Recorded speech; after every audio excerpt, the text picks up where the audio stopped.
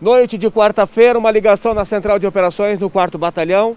Era uma pessoa que tem um comércio no bairro Jardim Clodoaldo, solicitando o comparecimento da Polícia Militar no endereço, porque havia ali uma pessoa que estava fazendo perturbação ao trabalho. Eu converso agora com o Sargento Cléristo, que juntamente com o Cabo Paixão, é que estiveram atendendo essa ocorrência, as informações que vocês conseguiram levar, já que a pessoa que supostamente estaria sendo é, fazendo essa perturbação foi encaminhada aqui para a delegacia?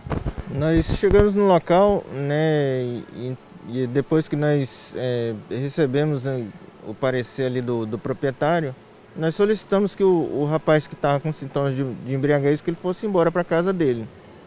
E de princípio ele atendeu. E enquanto nós estávamos lá preenchendo a ocorrência, ele estava retornando para o local. Aí neste momento foi dado voz de prisão para ele nós conduzimos ele aqui para a delegacia e fizemos o preenchimento da documentação. Agora ele foi apresentado para a Polícia Civil de plantão e, e aí ele vai responder ali, depois ele será liberado. Agora, nesse caso, ele só foi conduzido porque desobedeceu uma ordem e parece estar meio que alterado. Sim, é, nós, a princípio a gente, né, a princípio, nós instruímos ele sobre a atitude dele, sobre a contravenção que ele estava causando no local. E quando nós pensamos que ele havia cessado da contravenção, nós liberamos ele. Mas então, a partir do momento que nós vimos que continuaria, então aí ele foi conduzido aqui à delegacia e apresentado aqui aos policiais de plantão.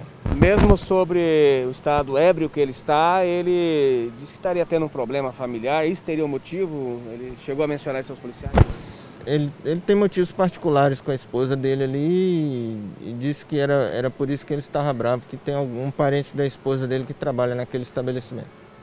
Também conversamos com o Sargento Clériston, juntamente com o Cabo Paixão, do 4 Batalhão da Polícia Militar, que estiveram atendendo esta ocorrência no bairro Jardim Clodoaldo, na Avenida Cuiabá, onde as informações é que o conduzido estava praticando perturbação ao trabalho.